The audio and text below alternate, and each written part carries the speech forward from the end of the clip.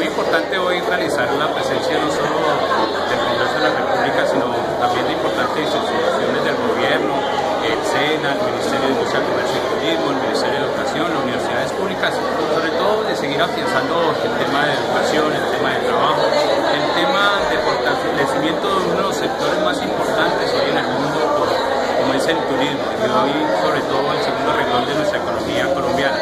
fortalecer en el tema de formación, el tema de capacitación, la generación de oportunidades y sobre todo también el, mantener no solo esa relación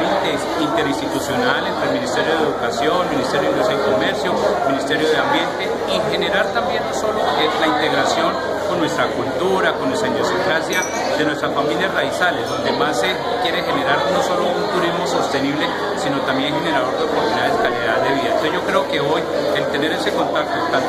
con autoridades locales, con las mismas eh, eh, poblaciones eh, étnicas que hoy nos representan en el archipiélago de Santa Andrés, Provincia y Santa Catalina, genera también no solo unos canales de comunicación, sino también de seguir afianzando. Hay unas metas que tanto el Gobierno Nacional, Congreso de la República y la legislación colombiana tiene que ir acorde a lo que también reclaman y piden tantas poblaciones que hoy están en, en, peligro, vía de extinción, como son las culturas étnicas. Yo creo que hoy se